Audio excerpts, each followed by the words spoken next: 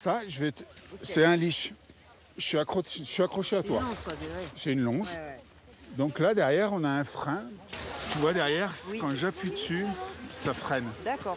Donc on peut être sur l'écart. On peut être sur l'écart, d'un côté ou de l'autre. Donc tu vois, ça va très loin. Il faut se préparer aux sensations fortes qui les attendent. Pour quelques heures, Séverine sera liée à Marc sur ce tandem en ski. Euh, moi, j'ai mon neveu qui, est Andy, hein, de naissance. Et du coup, euh, le but était de leur faire donner du plaisir dans le sport, parce que pour moi, le sport est super important. Mais du coup, je prends aussi du plaisir.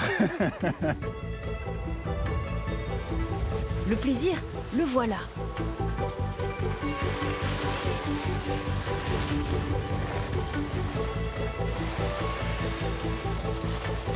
Ces joies de la glisse, Séverine les a connues avant la sclérose en plaques.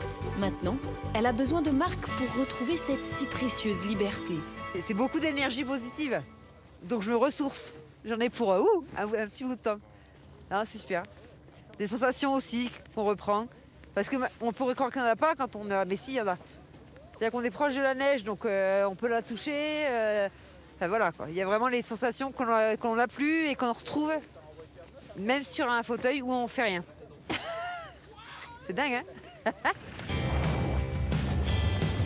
Du vent qui fouette le visage, de la vitesse en pleine nature.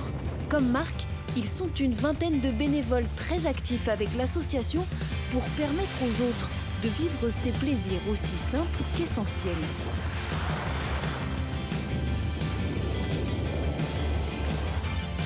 je vais bloquer un peu là. Attention, attention, ouais, parce qu'il y a du monde qui arrive là. Hein. Il faut quelqu'un pour sécuriser l'espace.